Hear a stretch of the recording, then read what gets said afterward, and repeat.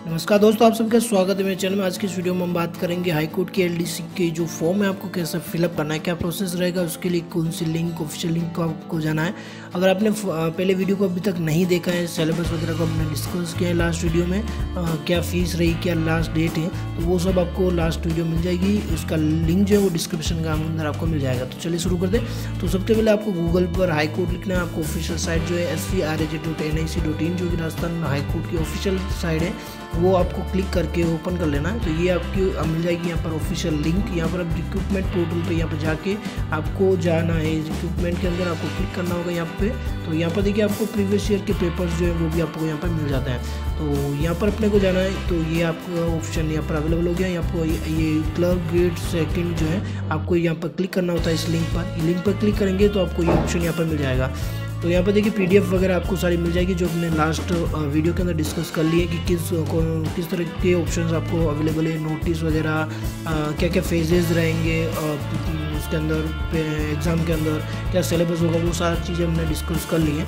तो अब हम कैसे ऑनलाइन पोर्टल पर फॉर्म फिलअप करना है तो उसके बारे में बात करें। तो यहाँ पर देखिए ऑनलाइन एप्लीकेशन पोर्टल यहाँ पर लिखा था तो आपको जस्ट यहाँ पर क्लिक करना होगा। नेक्स्ट स्टेप के अंदर आपको जो ये लिंक है, ये भी, ये लिंक भी मैं आपको डिस्क्रिप्शन डाल दूँ ताकि आप डायरेक्टली जो है यहाँ पर स्विच कर सकें कि आपको डायरेक्टली जो फॉर्म फिलअप करना है, उसी लिंक पर आप आ सकते हैं। तो राजस्थान हाई कोर्ट, जोधपुर, यहाँ पर देखिए आपको अगर आप ऑलरेडी रजिस्टर कर लग चुके हैं, आप तो आपको यहाँ पर लॉगिन करना होगा। अगर आपको नए यूज़र है तो आपको रजिस्टर नाव पर क्लिक करना होगा। तो आप नए यूज़र ही होंगे तो रजिस्टर नाव पर आपको क्लिक कर देना है। जैसे आप यहाँ पे क्लिक करते हैं तो देखिए आपको रजिस्ट्रेशन फॉर्म जो है आपके लिए ओपन हो चुका है यहाँ पर। आपको just applicant name father name mother name आपका जेंडर यहाँ फिलअप करना रहेगा date of birth day month and year में आपको यहाँ पे फिल करनी है, उसके बाद आपको मोबाइल नंबर यहाँ पर फिल करना है, जो कि आपको वेरीफाई करवाना होगा। आपको मोबाइल पे एक ओ आएगी, आपको यहाँ पर डालनी होगी, ताकि वो नंबर जो है वो वेरीफाई हो जाए। उसके बाद आपको यहाँ पर ईमेल एड्रेस जो है वो आपको यहाँ पर डालना रहेगा। यूज़र नेम बना लीजिए आप यूज़र नेम के लिए देखिए यहाँ पर पॉपअप आ चुका है कि यूज़र नेम जो है वो आपका should be between the six to thirty characters please use only alphabets digits और आप जो at the rate underscore वगैरह भी आप यहाँ पे यूज़ कर सकते हैं। उसके बाद पासवर्ड आपको जनरेट करना रहेगा। कंफर्म पासवर्ड आप यहाँ पे डाल दीजिए। उसके बाद आपको कैप्चा यहाँ पे एंटर करना है। उसके बाद आपको क्लिक करना रहेगा रजिस्टर के ऊपर। देखिए मेरा रजिस्टर स्टेटस जो है वो रजिस्टर्ड सक्सेसफुली हो गया। तो आपको ये ध्यान रखना होगी आपका नाम जो है वो user name six to thirty की लेंथ में डालना होगा। और पासवर्ड के अंदर आपको न्यूमेरिकल एक न्यूमेरिकल एक स्पेशल कैरेक्टर और आपको जो आपका नाम या आपको जो भी पासवर्ड डालना है, वो लेटर्स वगैरह आपको डालना होंगे। तो इस तरह से और ओ वेरीफाइड होगा, तभी आप फॉर्म भर सकते हैं। आपको मोबाइल अपने साथ रखना होगा और ओटीपी को दो से दो मिनट के अंदर, उसके अंदर एंटर करना होगा। नहीं करेंगे तो आपको वापस से रिप्रोसेस करना होगा। तो आपके पास ही रखिए मोबाइल ताकि आप इजीली ओ वेरीफाई कर सकें। उसके बाद देखिए यहाँ पर आपका यो सेशन जो है वो यहाँ पर स्टार्ट हो जाता है। तो इस पर्टिकुलर सेशन के अंदर ही आपको पूरा फॉर्म जो है फिलअप करना होगा। तो अब देखिए यहाँ पे home fill form make payment print form and logout का ऑप्शन जो है वो आपके सामने यहाँ पर अवेलेबल है। और डिफरेंट टाइप्स ऑफ़ स्टेटस जैसे कि enrolment status payment status and form download status जो है वो यहाँ पर बता रखा है। तो अब सेकेंड ऑप्शन अपने रजिस्ट्रेशन कर लिया। फिल फॉर्म की तरफ़ जाते हैं तो आप फिल के फिल फॉर्म के अंदर आपको applicant name applicant father name and mother name जो है वो आपको यहाँ आ चुका है।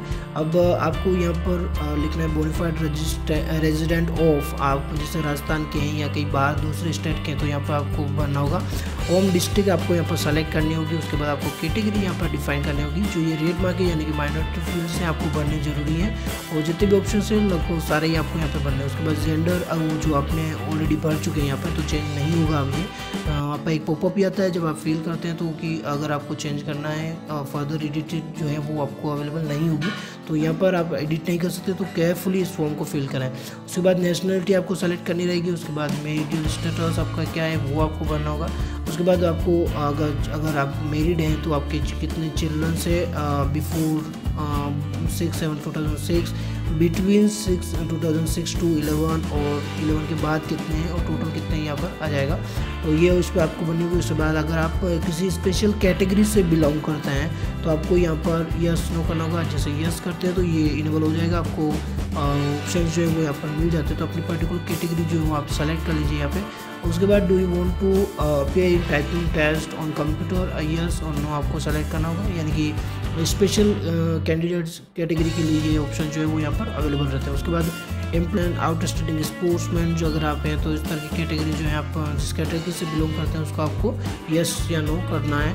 उसके बाद date of birth and age आपको यहाँ पर ऑलरेडी कैलकुलेटेड हो जाएगी, क्योंकि आपने डेट ऑफ़ बर्थ जो रजिस्ट्रेशन के अंदर डाल दी थी। उसके बाद अपॉइंटमेंट प्रेफरेंस जो कि आपको मैंने बताया था कि आपको अपॉइंटमेंट प्रेफरेंस कौन कौन सा लेना है। यहाँ पर आपको पाँच प्रेफरेंस देने होंगे T S P non T S P area आपको सेलेक्ट करना होगा। उस वीडियो में आपको बताया था पाँच प्रेफरेंस उसमें से आप वो पी डी एफ़ डाउनलोड कर लीजिए, उसमें से आप प्रेफरेंस जो है वो देख लीजिए, उसके बाद यहाँ पे फिल कीजिए। उसके बाद एड्रेस डिटेल्स आपको यहाँ पर एड्रेस पूरा अपना एड्रेस बनना है। मोबाइल नंबर पहले ही आ चुके हैं और ईमेल एड्रेस भी पहले से यहाँ पर आ चुका है। उसके बाद आपको अपनी क्वालिफिकेशन यहाँ पर बननी रहेगी सेकेंडरी सीनियर सेकेंडरी और ग्रेजुएशन के लिए। आपको पासिंग ईयर यहाँ पर लिखने और अपना ग्रेड या डिवीज़न जो है वो यहाँ पर आपको मेंशन करना रहेगा। उसके बाद whether process basic knowledge of computer तो आपको ये से करना है। क्योंकि इसमें रिक्वायरमेंट है आपको बेसिक नॉलेज ऑफ़ कंप्यूटर की तो।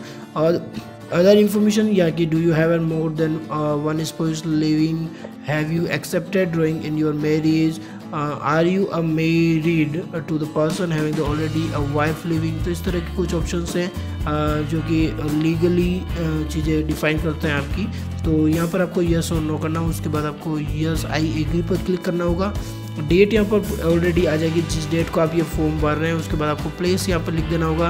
अब मेन चीज़ यहाँ पर आती है फोटोग्राफ और सिग्नेचर की। तो यहाँ पर आपको फोटोग्राफ जो है वो 10 से 25 के बी के अंदर ही रखना है। आप जो फ़ोटो खींच रहे हैं, उसको कंप्रेस कर दीजिए और 10 के से 25 के के बीच में रखिए।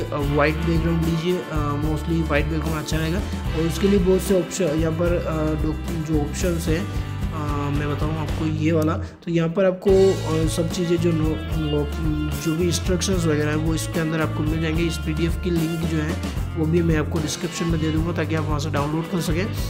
उसके बाद अपलोड कर दीजिए फ़ोटो यहाँ पर चॉइस फ़ाइल चूज़ फ़ाइल पर क्लिक करना होगा, आपको जहाँ पर फ़ोटो है वहाँ से अपलोड कर दीजिए। उसके बाद यहाँ पर सिग्नेचर है तो सिग्नेचर पर को भी की साइज़ भी आपको 10 से 25 के बी के अंदर ही रखी है जे या डॉट जे डॉट जेपीईजी के अंदर। तो दोनों ही फ़ाइल हो सकती है तो आप यहाँ से चूज़ फ़ाइल कीजिए और यहाँ पर अपलोड कर दीजिए। तो दोनों फाइलें जो है इस बॉक्स और इस बॉक्स के अंदर आपकी फ़ोटो और सिग्नेचर जो है रेस्पेक्टिवली यहाँ पर दिखने लग जाएँगे। उसके बाद आपको कैप्चा कोड जो है वो यहाँ पर आपको डालना रहेगा। उसके बाद आपको एक बार चेक कर लीजिए पूरा फॉर्म उसके बाद सेव और मेक पेमेंट पर आप जैसे ही क्लिक करेंगे तो आपको पेमेंट ऑप्शन पर यहाँ पर ले जाएगा। आप इंटरनेट बैंकिंग से डेबिट कार्ड क्रेडिट कार्ड से जो है आप पेमेंट कर सकते हैं। और पेमेंट जो आपको बता दिया है कि आप पाँच सौ रुपये या तीन सौ रुपये जो भी हैं आपको जिस कैटेगरी से आप बिलोंग करते हैं, उसके हिसाब से आपके लग जाएँगे। तो इस तरह से बहुत ही केयरफुली आप इस फॉर्म को फिलअप कर दीजिए। फिलअप करने के बाद आपको इस फॉर्म का एक प्रिंट भी ले लीजिए या आप पी उसको सेव कर लीजिए। और आपको फॉर्म जो है वो आपका सेशन यहाँ पर चलता रहेगा तो सेशन के अंदर ही आपको ये फॉर्म जो है पूरा फिलअप करना रहेगा। अगर आप उसके अंदर फिलअप नहीं करते तो आपको वापस से बाहर, इस साइड से बाहर निकल जाएँगे, आपको वापस से इसके अंदर आना होगा लॉगिन करके, और आप वापस से इसको ट्राई कर सकते हैं। तो ये सब कुछ था इस वीडियो में, जोधपुर हाई कोर्ट के अंदर जो वैकेंसी निकली है एटलीस्ट की, उसके बारे में। अगर आपको इसके अंदर कुछ समझ में नहीं आता है तो आप नीचे कमेंट बॉक्स में डाल दीजिए। मैं आपको आंसर कर दूँगा उसके रिलेटेड और सबको ये वीडियो शेयर ज़रूर करें ताकि वो जल्दी से जल्दी इस फॉर्म को फिल कर सके। Thank you very much